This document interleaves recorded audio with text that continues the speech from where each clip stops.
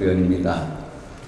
어, 먼저 2014 지구촌 평화 실현을 위한 지도자 대회에 참석하신 모든 분들께 감사의 말씀을 올립니다. 특히 오늘 이 대회를 실무적으로 준비해 주신 범사연의 이갑산 대표님, 또 통일을 실천하는 사람들, 그리고 글로벌 평화재단의 관계자 여러분들께도 감사의 말씀을 올립니다. 아시다시피 우리가 염원하는 통일은 지구촌 평화 실현을 위한 거대한 전환점이 될 것이고 그리고 한반도의 통일, 통일 한반도야말로 한반도가 동북아시아에서 경제적인 중심지로 부상하는 계기가 될 것입니다. 저는 오늘 이 대회를 보면서 참으로 치적절하고 뜻깊은 대회라고 생각하고 있습니다. 왜냐하면 지금까지 우리 대한민국에서 이루어진 통일 논의를 보면 쉽게 알 수가 있습니다. 김대중 노무현 정부에 있어서의 통일 논의는 한반도 분단의 평화적 관리에 치중했습니다. 어떻게 하면 남북교류를 활성화시켜서 남북관계를 개선할지에 머물렀지 진정 통일 논의가 없다고 해도 과언이 아닙니다. 이명박 정부 때는 어떻습니까?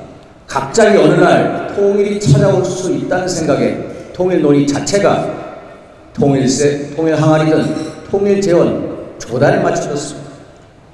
제대로 된 통일 논의가 이루어지지 않았습니다. 그 다음에 박근혜 정부 시대에 들어섰습니다. 박근혜 정부 시대는 통일 대방론, 또 통일준비위원회 출범 등 통일 논의가 이제서야 본격화되기 시작했습니다. 앞으로 우리 시대의 통일 논의는 제가 보기에는 첫째, 우리가 노무현 정부 시대에 만, 노태우 정부 시대 때 만들었던 한민족 공동체 통일 방안을 어떻게 현실적으로 수정 보완해 나갈 것인지, 그리고 통일 문제와 핵 문제와 남북관계 개선 문제를 어떻게 유기적으로 연계해서 논해 나갈 것인지, 그리고 선진 한반도 통일, 통일 한반도의 경제적, 사회적, 국제적 비전은 무엇인지, 그리고 통일 한반도의 사회적 갈등을 해소하고 진정한 통합을 어떻게 이룩할 것인지 등의 논의에 주안점을 둬야 한다고 생각합니다.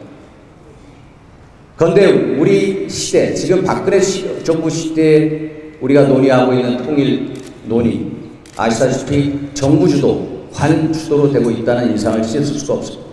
그러나 우리의 통일 논의가 제대로 된 통일 논의가 되기 위해서는 국민적인 공감대 형성이 필수적이고 국민적인 공감대 형성을 위해서는 시민사회의 의견 수렴이 절대적입니다.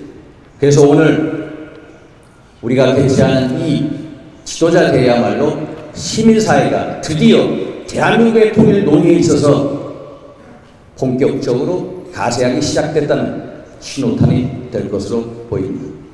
아무쪼록 오늘 이 지도자 대회를 통해서 한반도 평화 통일을 한 발짝 더 다가서는 하나의 큰 발자국으로 남기를 기원드립니다. 감사합니다.